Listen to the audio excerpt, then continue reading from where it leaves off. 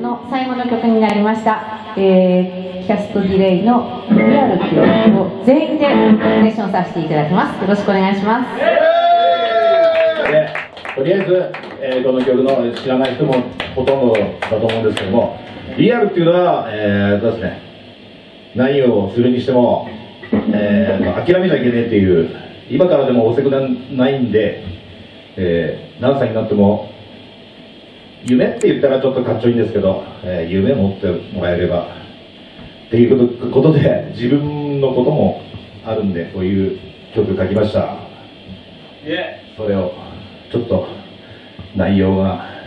聞き取れるかどうかはあなた次第。要は諦めるにはまだ早い。